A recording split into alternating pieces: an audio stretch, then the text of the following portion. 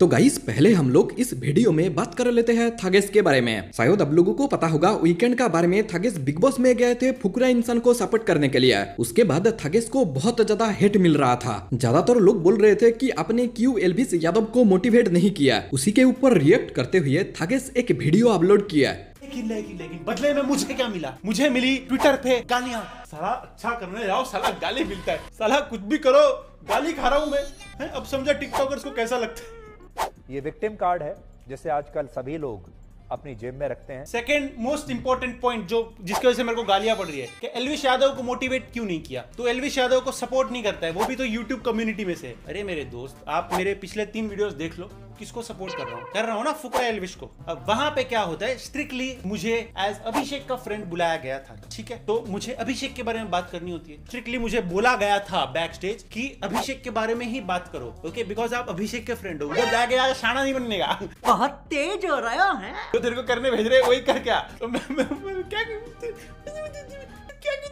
मैं अभिषेक के बारे में बात किया बट अभी यूट्यूबर है तो थोड़ा सा तो मैंने एलविश की साइड ली ना, उधर मैंने बोला ना कि भाई सिस्टम है, बनाए रखो, भाईचारा बनाए रखो। ये भी बोला कि साथ में रहो। बोला ना, जबकि मेरे को बोला था नहीं बोलने का इधर उधर का। अरे क्या क्या करूँ मैं इसका? क्या करूँ?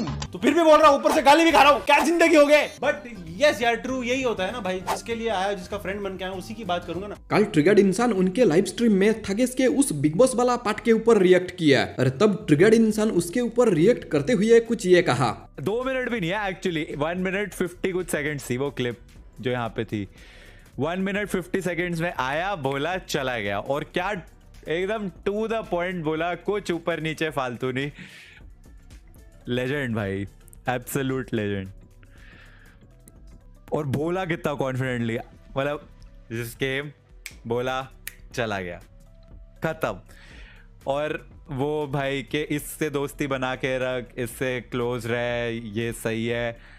भाई ने एकदम टू द पॉइंट बोला। मैं शौक था कि ये ये चीज़ बोल रहे बिग बॉस वालों ने देवर फाइन विद इट वो सही है भाई काफ़ी सही लगा मेरे को तो। उसने तो नाम भी नहीं लिया आखिरी में खुद ही कहा सलमान ने कि नाम सलमान ने बोला कि नाम लो। वो तो सीधा हाँ। बस आया बोला और चला गया। मेरे को तो बहुत सही लग रहा बट भाई कितने कितनी वीडियोस डालेगा भाई थगेश यार इस पे बिग बॉस पे? बस कर जा भाई।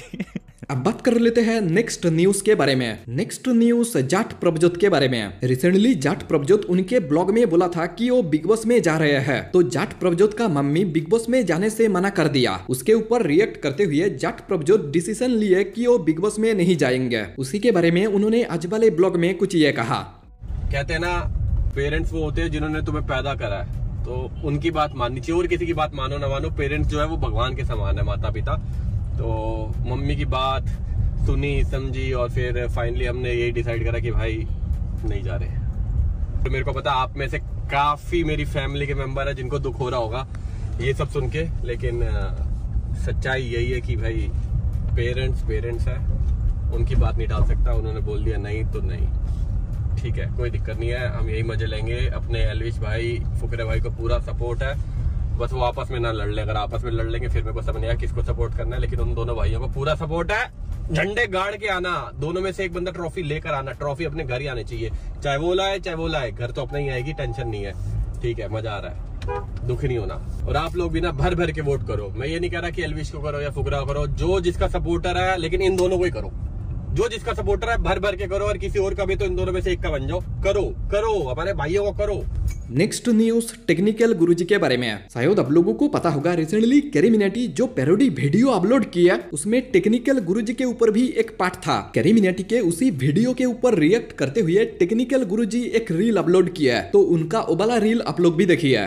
मैं हूँ अभी सिटी ऑफ़ गोल्ड दुबई में, जहाँ पे मेरे पीछे जो लैंप आपको दिख रहा है, ये भी सोने का बना हुआ है। जो मेरा बैग है उसपे सोने के धागे हैं और ये लेबल भी गोल्ड का ये इनफैक्ट मेरे फ़ोन के अंदर भी सोना है और जो वॉलपेपर है, उसमें से भी गोल्ड निकलता है। दोस्तों, चारों तरफ़ सोना ही सोना है। ये पॉट भी सोने का ये दोस्तों। ये जो आपको दिख रहा है, ये भी सोने का है और आयो अभी, ये भी सोने का है दोस्तों। पीछे ऑरियो में भी सोना है दोस्तों। दोस्तों, मेरे पीछे आप ये सोने का पेड़ देख जिसको मुझे लेने का बहुत मन कर रहा है। जस्ट किडिंग गाइज़ ये मैंने लगवाया है। अभी दोस्तों, मेरी इस 20 लाख की फ़र्स्ट क्लास फ़्लाइट में चारों तरफ़ गोल्ड है इनफैक्ट मेरी मिनी बार में पानी भी खोली भैया वाला है। ये नींबू नहीं है दोस्तों, ये सोने का टुकड़ा है मेरे पानी में। गाइस जब भी बोर होता हूँ तो मैंने अपने लिए सोने वाले कार्ड्स रखे और उनकी चमक में बहुत ज़्यादा मज़ा आता है। काम करने के लिए ये जी फोल्ड फोर जिसके अंदर सोने का सर्किट लगा हुआ है। फ़्लाइट में पार्टी करने के लिए लाउंज भी अवेलेबल है। ट्रेन में, पीछे सीढ़िया, इधर सोना। इतना ज़्यादा सैमसंग यूज़ किया है कि मैं आ गया हूँ सीधा सैमसंग हेडक्वार्टर्स बेल्ट में भी सोना है। ये मेरे सोने वाले जूते हैं नॉर्मल यूज़ करने के लिए। गुस्सा आ जाए तो ये वाले हैं जिसमें सोने की पिंस भी लगी हैं। तो गाइस ऐसे ही इंटरेस्टिंग न्यूज़ के लिए चैनल सब्सक्राइब करना मत भूलना। मिलते हैं नेक्स्ट वीडियो में।